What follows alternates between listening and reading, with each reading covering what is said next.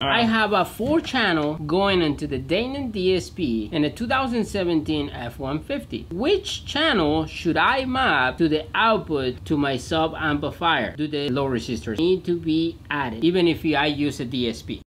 I have a Ford F-150. I'm going high level out of my factory radio. So that's going to be four channel out into a DSP. We'll just say that to keep it civil. What channel should I map to feed my subwoofer? So when you're setting up a DSP, you have to tell it, like you have six channels out, eight channels out, whatever you have, you have to say channel seven and eight need to look to channels inputs one and two in order to feed it the signal because it doesn't know. That's part of the process of setting up a DSP. In the F-150, use channels 1 and 2 to map into the sub-channel. Those two are going to have the, the widest frequency response, meaning they're going to they're going to play lower than they do in the rear. Uh, the rear does have high-pass crossover on it, stopping them from playing deep because it's a smaller speaker. So you want to use the front speakers as the feed for the subwoofers. The second part of the question was, should I use load resistors on my F-150? And the answer to that is yes! Pick up a set of AC LGD Blues. you have to have them or you could roast your tweeters. Not anything you'll hear, but your tweeters know what's happening and you're silently cooking them to death. But okay, hope that answers that question.